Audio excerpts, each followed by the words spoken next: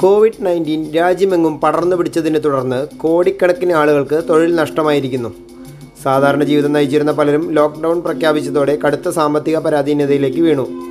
Professional രംഗത്തുള്ളവർക്ക് പോലും മറ്റു പല ജോലികൾക്കും പോകേണ്ട അവസ്ഥയിലാണ്. കായിക താരങ്ങളുടെ സ്ഥിതിയും വ്യത്യസ്തമല്ല. ഇന്ത്യയ്ക്ക് വേണ്ടി ക്രിക്കറ്റ് ലോകകപ്പ് ജയിച്ച ടീമിലെ ഒരു അംഗം സാമ്പത്തിക ബുദ്ധിമുട്ടിനെ തുടർന്ന് ഇപ്പോൾ പച്ചക്കറി വിറ്റ് ജീവിക്കുകയാണ്. രണ്ടായിരത്തി പതിനെട്ടിൽ പാകിസ്ഥാനെ തോൽപ്പിച്ച് അന്തരുടെ ക്രിക്കറ്റ് ലോകകപ്പ് ചാമ്പ്യന്മാരായ ഇന്ത്യൻ ടീം അംഗം നരേഷ് തുംഡയാണ് തെരുവിൽ പച്ചക്കറി വിൽക്കുന്നത്. ഷാർജയിൽ നടന്ന ഫൈനലിൽ മുന്നൂറ്റി ഒൻപത് റൺസ് എടുത്ത പാകിസ്ഥാനെയാണ് ഇന്ത്യ അന്ന് തോൽപ്പിച്ചത്. ഒരു ഓവർ ബാക്കി നിൽക്കെ രണ്ട് വിക്കറ്റിനായിരുന്നു ഇന്ത്യയുടെ വിജയം. ആകെ അഞ്ച് തവണ ലോകകപ്പ് സംഘടിപ്പിച്ചപ്പോൾ രണ്ട് തവണ ഇന്ത്യയായിരുന്നു ചാമ്പ്യന്മാർ. ചരിത്ര വിജയം നേടിയ ടീമിലെ ഒരു കളിക്കാരനാണ് ഇപ്പോൾ ജീവിക്കാനായി പാടുപെടുന്നത്.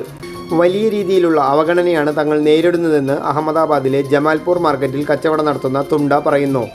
സർക്കാർ തങ്ങൾക്ക് ജോലി നൽകിയില്ലെന്ന് തുണ്ട പറഞ്ഞു.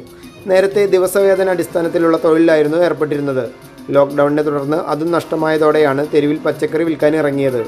അഞ്ച് അംഗങ്ങളുള്ള കുടുംബം പുലർത്തേണ്ട ചുമതല തുണ്ടയ്ക്കാണ്. ഇന്ത്യൻ ക്രിക്കറ്റ് ടീം ലോകകപ്പ് ജയിച്ചപ്പോൾ സർക്കാർ അവർക്ക് പണം നൽകി. എന്നാൽ അന്തരായതിനാൽ തങ്ങൾക്ക് ഒന്നും ലഭിച്ചതില്ല. ഈ വേർതിരിവ് സമൂഹത്തിലും ഉണ്ടെന്നും തുണ്ട ചൂണ്ടിക്കാണിക്കുന്നു.